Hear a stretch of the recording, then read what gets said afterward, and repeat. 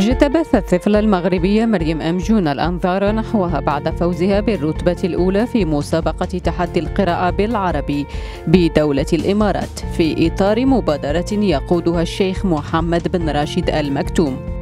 الطفلة في التاسعة من عمرها وتتحدر من قرية بني وليد ضواحي تونات وتتابع دراستها بالمستوى الرابع ابتدائي بالمؤسسة التعليمية تيسا المتوجة تعد أصغر مشاركة في هذه المسابقة حيث نجحت في خطف اللقب من أزيد من عشرة ملايين متسابق. يمثلون 44 دولة على الصعيد العربي والدولي وتفوقت على أزيد من 300 ألف تلميذ وتلميذة على الصعيد الوطني.